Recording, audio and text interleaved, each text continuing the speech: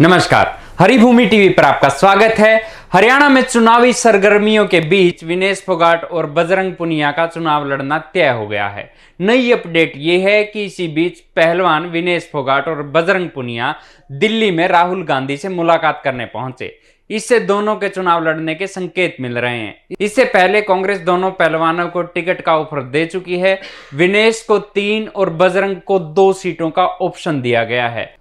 कांग्रेस की कोशिश ये है कि दोनों को विधानसभा चुनाव में उम्मीदवार बना, पहलवान आंदोलन को बीजेपी के खिलाफ फिर से गरमाया जा सके।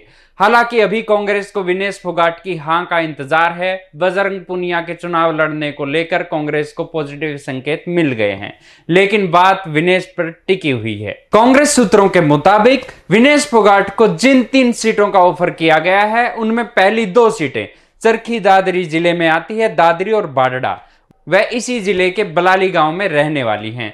विनेश अगर दादरी से हामी भरेगी तो उनका मुकाबला चचेरी बहन दंगल गर्ल बबीता फोगाट से हो सकता है। बबीता यहाँ से 2019 में बीजेपी की टिकट से चुनाव लड़ चुकी थी, लेकिन हार गई थी। इस बार भी वह टिकट की दावेदार हैं। विनेश को तीसरा ऑप्शन जींद की जुलाना सीट के लिए दिया गया है। यहाँ विनेश फोगाट का ससुराल, वहीं बजरंग पुनिया को भी तीन सीटों का ऑफ़र दिया गया है। बजरंग सोनीपत से चुनाव लड़ने के इच्छुक हैं, लेकिन यहाँ से कांग्रेस के मौजूदा विधायक सुरेंद्र पवार को टिकट देना चाहती है। पवार अभी ईडी केस में जेल में बंद है। वह चुनाव न लड़े तो उनके बेटे या बहू में से कोई भी चुनाव लड़ सकता है। कांग्रेस उनका टिकट काटकर यह संकेत नहीं देना चाहती कि मुसीबत के वक्त नेता का साथ छोड़कर चले गए। बजरंग ने झज्जर की बादली सीट में भी दिलचस्पी दिखाई है, लेकिन यहाँ से मौजूदा कांग्रेस विधायक कुलदीप वत्स का टिकट फाइनल कर चुकी है। वत्स बड़ा ब्राह्मण चेहरा है। इसलिए कांग्रेस उनका टिकट काट कर ब्राह्मण वोट बैंक को नाराज़ नहीं करना चाहती। बजरंग को कांग्रेस की तरफ़ से बहादुरगढ़ और भिवानी का ऑप्शन दिया गया है। ये दोनों जाट बाहुल्य सीटें हैं।